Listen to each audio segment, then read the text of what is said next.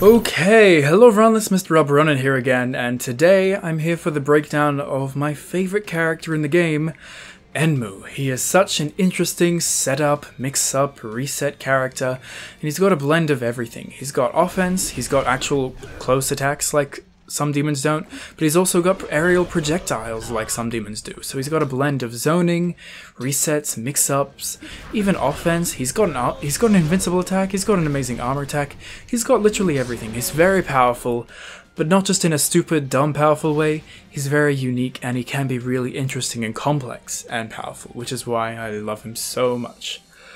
So, I think we should just get straight into it because there's a lot to talk about with Enmu. So, his regular attack string is six hits. He does a few hits with the tentacles and then he throws projectiles afterwards. These projectiles actually do go really far, but there's no reason you'd ever be throwing out the full attack string from this distance unless you just want to be, I don't know, really weird and catch your opponent off guard.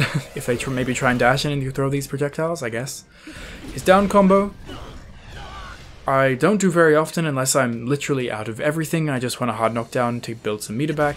And his up combo I also don't really use much at all except for some few strange unique combos, like where you can cancel his up combo into two of the uh, into his special one, and that can lead, just lead to some little slightly strange situations, like if the opponent was blocking that and they block that, then they're advantageous, and you can go for stuff like this. Goodness me, I'm already getting into his cool pressure stuff, but this is the only real use I have for his up combo. He's going for this kind of unique setup, which I think is pretty cool. His aerial attack string is really, really powerful. It's three th projectiles in the air that travel nearly full screen. They do die out a little bit beforehand, but they go a decent distance, and they lead to a hard knockdown, unlike poor characters like Yahaba who don't get hard knockdowns from his aerial attack string if the opponent is airborne or anything other than just standing, Enmu's is always going to be a hard knockdown. So even if you're ending your combo in it, you can get a hard knockdown and build a bunch of meter at the end. It's so awesome, and it's so likely to hit because they're projectiles, and they start a yellow combo. They're, they're just they're just amazing. They're projectiles, they're hard knockdowns, they can be combo extensions. They're just amazing. His aerial tilt attack is equally really good. It's not, you know, the most ridiculous amazing one in the game, and it does start a red combo, but it does have an awesome hitbox. It dives pretty far forwards, and with these extra tentacles that come out in front of you, it's very, very hard to whiff punish, because, you know, there's just these extra hitboxes out in front of him, and it recovers decently fast. And thanks to those tentacles, it has an amazing hitbox, because even if it doesn't get hit by the initial part, it's very likely that they'll get hit by those, so you don't just awkwardly sit in front of them like some characters do, like when they do a dive kick with the sword and they're just sitting there in front of the opponent when they miss. and Enmu's hits them with the tentacles and you can get a combo and it's, it's just very, very good. And you can combo it off of his first two projectiles and then get a combo going that way if you want to get go in for a hit confirm into some kind of really simple but high damaging combo. His tilt special on the ground is also really amazing. It has a huge hitbox as you can see by these huge tentacles. It is a little bit deceiving, it's hard to tell how far it'll go. Sometimes it seems like it'll go, looks like it hits the opponent, but then it doesn't. And its damage also changes depending how close you are because the different amounts of tentacles will hit, because as you can see its full distance, it only hits one and does 500, whereas up close it'll do 800 and hit 3 hits. Um, it is impossible to combo off of from a distance unless you dash cancel it. So if you do see it hits and you really want the damage, you can dash cancel it to get a combo. Um, you could have made that a little bit shorter for a hard knockdown. But um, up close you can combo with it super easily. Um, and then go in for some crazy shenanigans that we'll talk about later. His it's also really cool that it has such a huge hitbox because you can actually dash cancel it. Oops. You can dash cancel it right when it seems like it's going to come out. And it looks like it's going to hit, but then you get covered by all of these and you get to go for a grab, or even those tentacles can come out. Oops.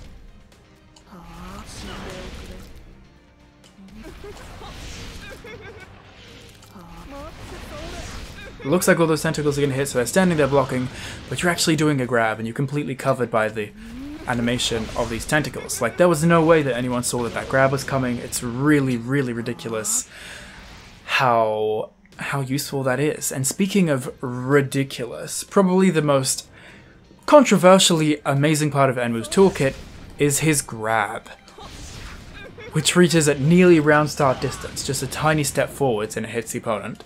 It does decent damage, it's an average damage grab, which is high considering how amazing it is. It reaches ridiculously far, it's not particularly slow, it is just ridiculous. What, what is this? And because it's not like he's dashing forward like, you know, Kami Tanjiro or Nezuko or something, because, you know, if they whiff it, then they're in their face and they can get punished by their opponent.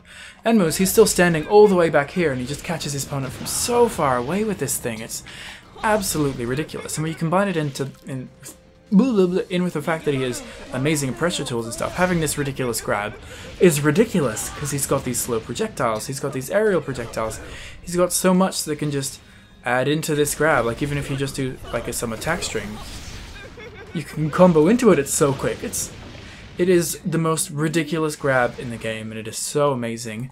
And because it does decent damage, it's going to be your combo ender in a lot of situations. Like if you do something simple like this. Um, wait, no. If you're trying to do like a super simple combo and just end in a grab, no matter how little your combo meter is, you can end in a grab and it'll do some decent damage, and that leads to some pretty awesome B&B combos with him.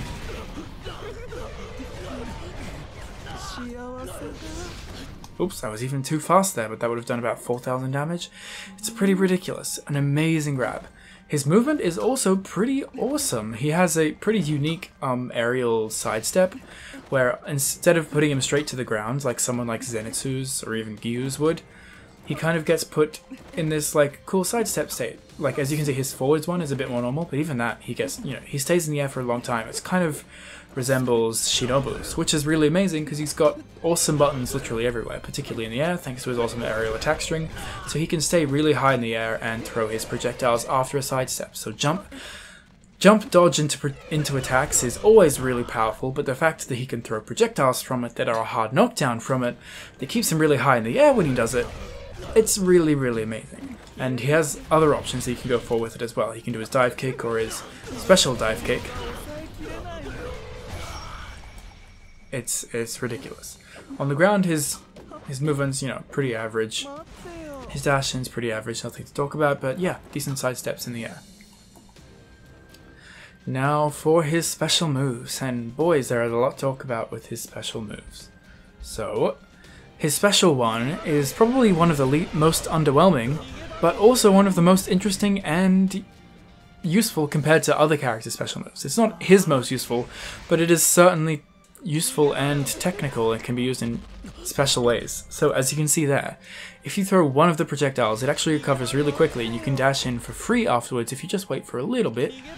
I can dash in for free and I actually arrive before the projectile arrives, which leads to some really, really tricky scenarios. Because you're following in behind the projectile, the opponent can't just mash buttons on you or do a water wheel, because they'll get hit by the projectile. And then at the very end, you're actually in front of the projectile, so you can actually go for a grab, or you can even go for a grab from behind the projectile.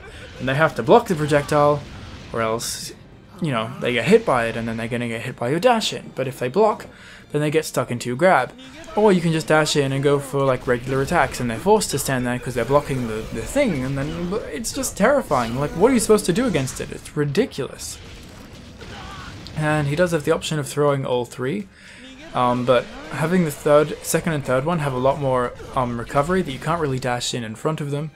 So if you do want to dash them, you're going to have to dash cancel them, which will cost you meter, but having all of these ridiculous things on the screen leads to even more ridiculous resets and shenanigans. Because come on, all of these projectiles on the screen, which I haven't even mentioned, have amazing tracking. Like throwing in a grab in between three projectiles, like come on, it's so ridiculous.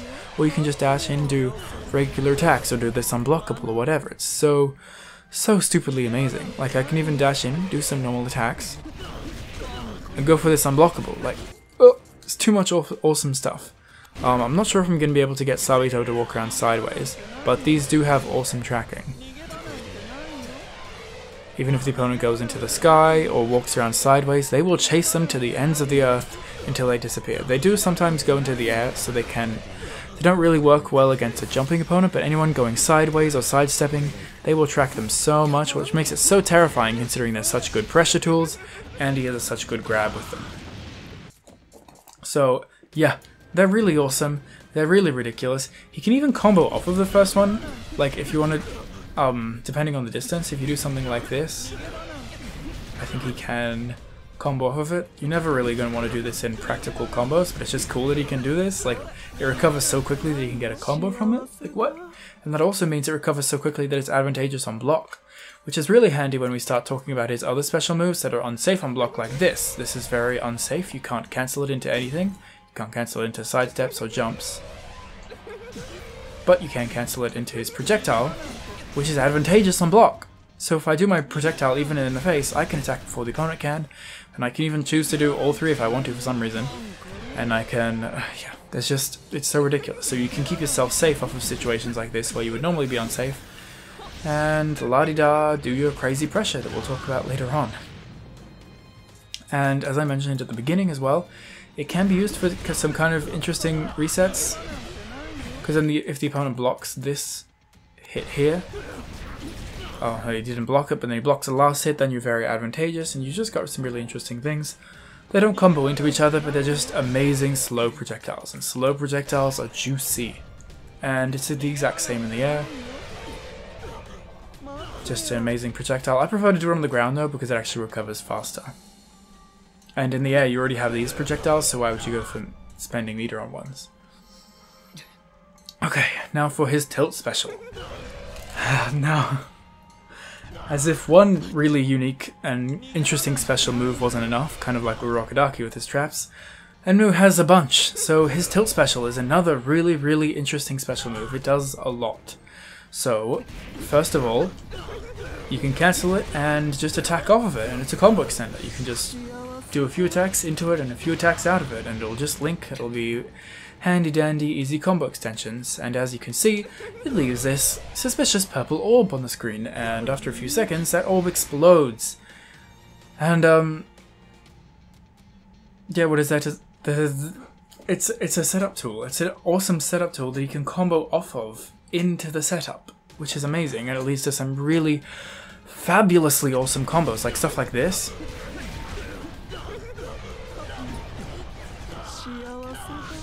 Like you get both of those explosions in the one combo. You get like, oh, these combos are just so ridiculously amazing. And they lead to some really, really awesome setup tools and stuff as well. Like if the opponent is guarding after you've done some stuff, maybe I've gotten a red combo.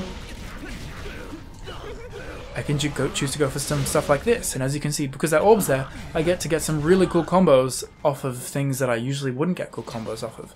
And they lead to some cool setups, because if the opponent is, you know, standing there, they have to block, I can go for my grab, and if the thing explodes while they're trying to block, you know... Uh, whoops.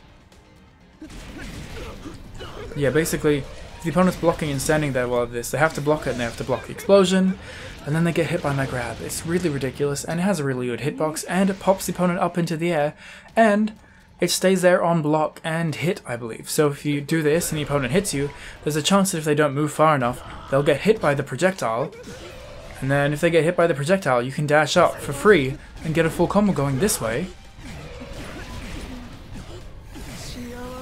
And oops, if they get hit by the explosion, you go for a grab, and that's a really big damage combo. And it's just, it's such an awesome special move. It does so much.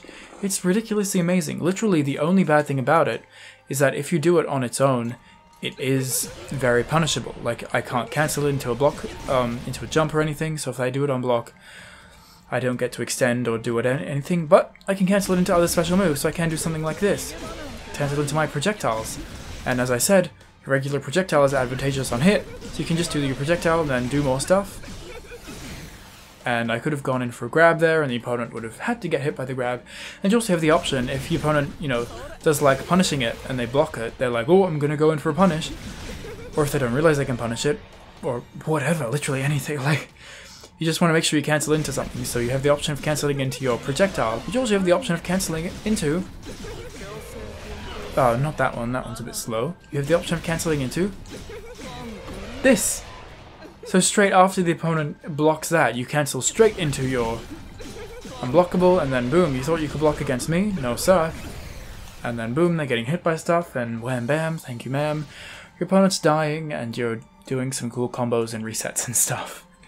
It's really amazing, and we haven't even talked about the aerial version. The aerial version, unlike some special moves, it's actually better than the grounded version, because it does more damage, and it has a dive kick at the start. Which leads to some awesome things, because off of your full aerial attack string, you can do this, and you can actually get full stuff off of it. And off of combos, it's really useful, because if you do stuff like this, you can do interesting set- oh, kind of messed that up, didn't I?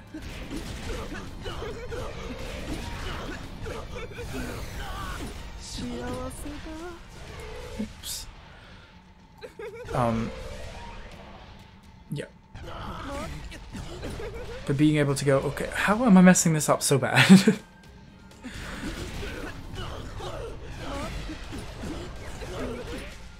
there we go. You can do combos and stuff like this, and it's particularly useful if you're um doing this thing, where like your opponent does that, and you do you break their guard with that basic GUI. Goodness me.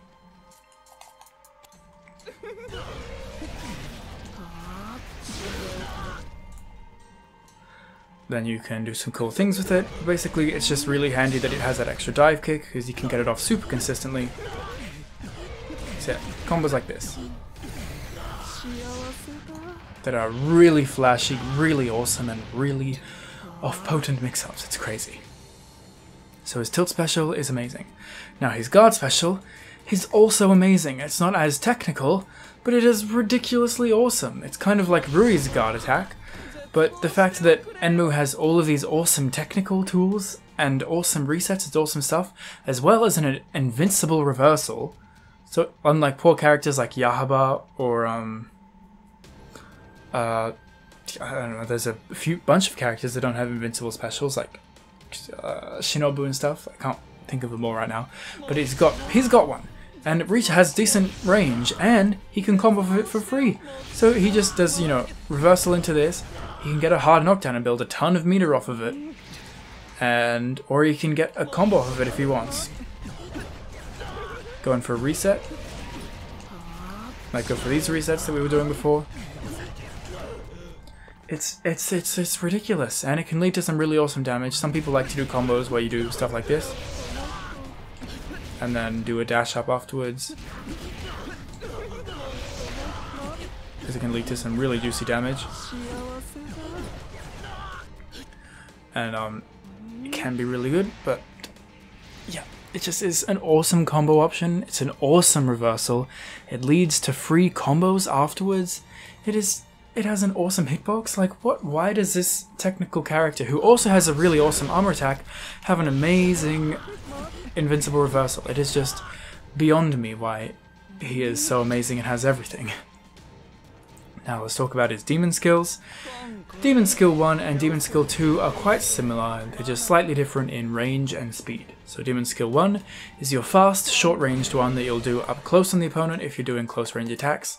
As I said, it's really good of cancelling things that the opponent would expect. So if you're doing something like this, you can cancel into it there, and I bet your opponent isn't not expecting you to throw it out there. So it can catch people off guard practically with 100% guarantee. The only bad thing about these is that they start a red combo, so you're not going to get too much damage off of them, but you can get cool resets off of them, and just being able to open up your opponent so easily is really amazing. His slower version has a huge hitbox, and it is pretty cool at baiting out an opponent's breakaway. So if the opponent breaks a combo and you summon this, they basically just as soon as they recover from their breakaway, they get hit by it and you get to start a new combo. And it can also be really useful for just doing from a distance and stuff like this if you want to go for that. However, in most of the distances that I would go for this, I would go for my grab because my grab is ridiculous and does more damage and has a hard knockdown and is free and doesn't cost me, you know, a support gauge, which is my breakaway.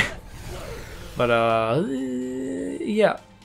The close range one is far more useful in my opinion because it's really fast and it catches the opponent off guard and it just makes people so scared against blocking you and especially when you're a reset setup character having someone be scared against you is really really useful and powerful.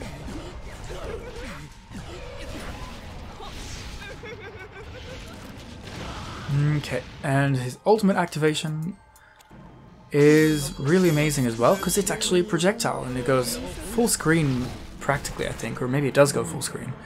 It's not too fast, but it's pretty decently speed. It's about the same as Rui's. And having a full screen ultimate is obviously ridiculous because you'll never miss it unless the opponent dodges it, but you'll never awkwardly be at the wrong range. And it makes it super easy to combo into off of literally anything, even off of like um, stuff like this you can combo off of depending on the distance. And yeah, off of any combos, no matter how far the opponent is like away from you, if you're doing stuff like um, like where they've been airborne.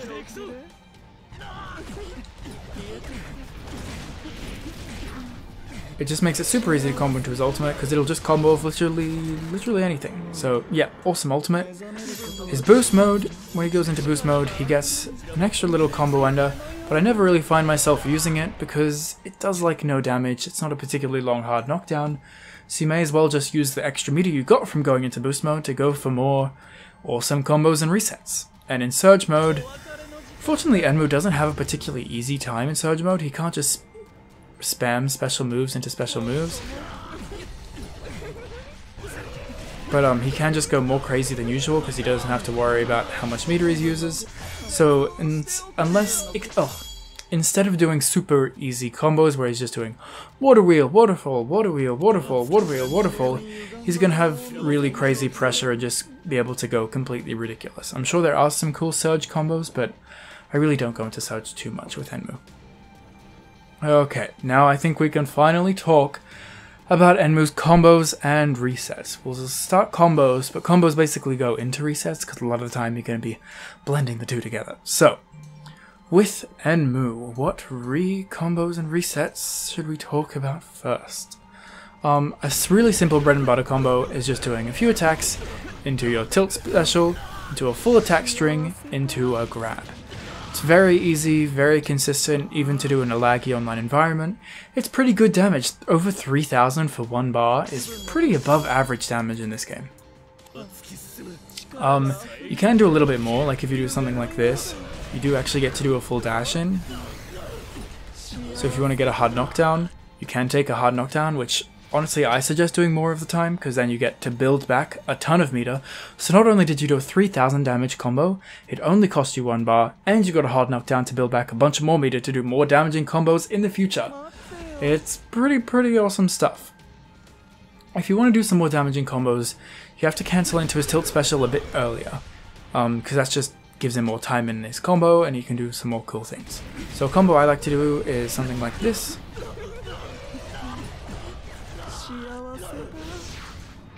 And going for a grab.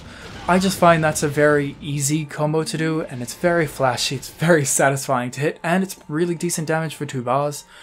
Obviously he has also options where you can go for something like this. Oops, bit slow. Actually, doing a full attack string actually scales your combos, so a lot of the time you want to cancel off of your second last attack string hit. So you can either go for a grab there, or you can probably even dash in and get a little bit more. Um,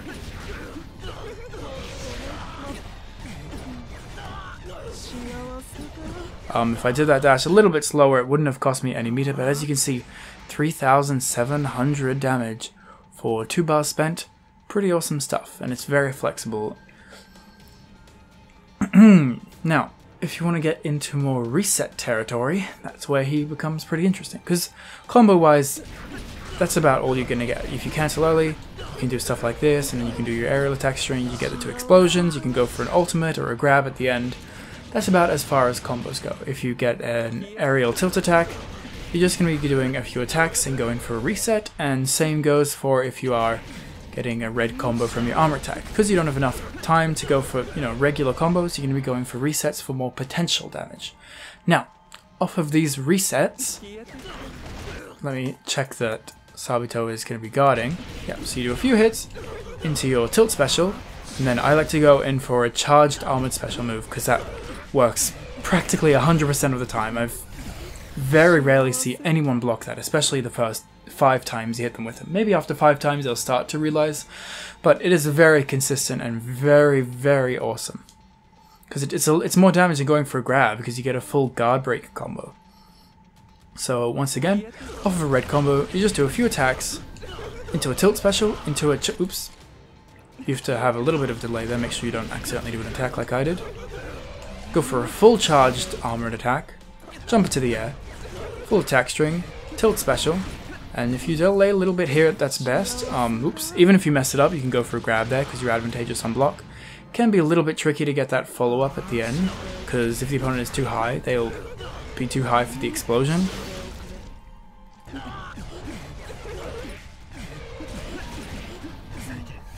That should work. You go in for a grab or an ultimate. That's a big, juicy chunk of damage. Like, damn, for a reset, that's like 60% of the opponent's life, and it really didn't cost me that much. No demon skills, only a few bars of meter. It's really ridiculous how powerful his resets can be. Um, obviously, another option off of this kind of situation is just going for a grab. That's like almost guaranteed. If you end your combo in your tilt special move, you can cancel into grab so quickly that I'm not even sure if you can avoid that by jumping. It's ridiculous. Which means you can get some high potential damage even at the end of a longer combo. So even if you've done a combo like this, you can kind of go for resets and stuff like that because it will restand the opponent. Um, let me show that a little bit better.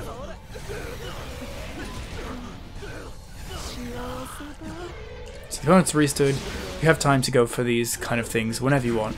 So a lot of the time I do like ending my combos like this. And afterwards, so as we said, you can either go for a charged armor attack, where you can get this cool combo we just showed before, which does 4000 damage.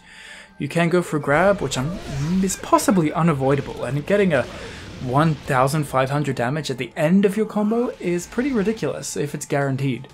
Because if you do like, you know, a 3000 damage combo, suddenly that's a 4500 and a bit damage combo. And that's like, whoa, that's a lot of damage for really simple combos. You also have the option of just having the opponent block. So just do some delayed attacks, and the opponent is standing there blocking, then they have to block the explosion, then they get hit by your grab. You'll have the option of jumping away and doing this, and, oops, um. Uh, I don't remember. There was a really cool setup with this. Maybe, yeah, it's if the opponent ends up getting hit by it, like if they're trying to mash on you, um, and you jump away, you can either get a throw, or if they get hit by it, then you get to go charge in for free and get a cool combo. Yeah, that's it. So if the opponent does get, end up getting hit by these because they're trying to mash on you because they're expecting you to do like this, or that they try to like jump out of the way or do something, there's a good chance that if you just jump back and do some projectiles, they'll get hit by it, and then you can dash in for free. And oops, don't mess up the combo. Oops. You can get the dash in for free. You just have to time it a bit better than I do.